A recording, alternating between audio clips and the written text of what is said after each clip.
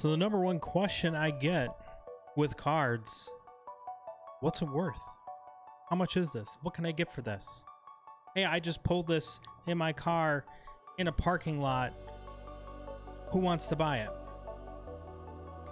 Today I'm going to show you very quickly and easily how you can find out how much a card is worth. And we're going to use an example and go right through it. You can do it with a minimal amount of information as long as you have the card. So, pictured, it's just a Prizm LeBron, LeBron James.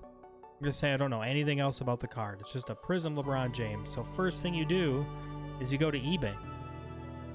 You type in Prizm LeBron James. And what it's going to do is it's going to pull up a bunch of different things. And so you're looking for the card that looks like your card. Here's one right here. Second one up 2019 2020 Panini Prizm Base Lakers LeBron James number 129. And so the key pieces of information that you want to pull when you're looking through this list of cards is you want the name, the year, the manufacturer, the brand, and the player's number. So we can just click on this link. And so we're going to copy all the pertinent information that we need, copy it, and we'll search for it again. And now you'll notice there's a lot of different cards listed that are the same. And so we've got all the information that we need to look up a price. A lot of people are going to go to sold listings. There's a better way to do it. See this price of the line through it? It didn't sell for 60. It could have sold for 30 cents for all we know. Luckily, the boys over at sellthepeak.com built a search engine to look through this data and pull out what cards are sold for. So we're going to paste all that information right back in. Hit go. And right down here, it's going to pop up all the different cards that have all this information in it for sold. So we have one that's sold today at 6.15 in the morning for $45.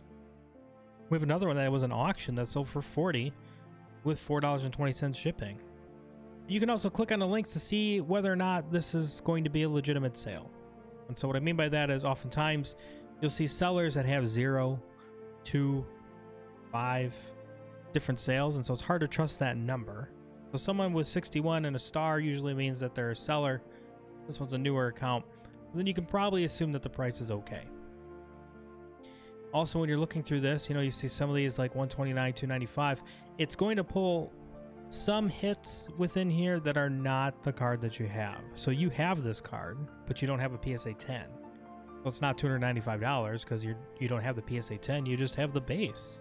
You don't have the PSA 9, you don't have the BGS, and so you can ignore those, but you can look at the rest. So we have one that sold at 1 in the morning for 30. Someone accepted the best offer. That one that we looked at that said 60, someone took 30 on it. This one had nine nine people auctions. And so you can continue scrolling down for as many hits as there's going to be on the card to see how the pricing has changed over time. So on the 15th, we had one that sold for 30 and 55, and another one with 50, for example.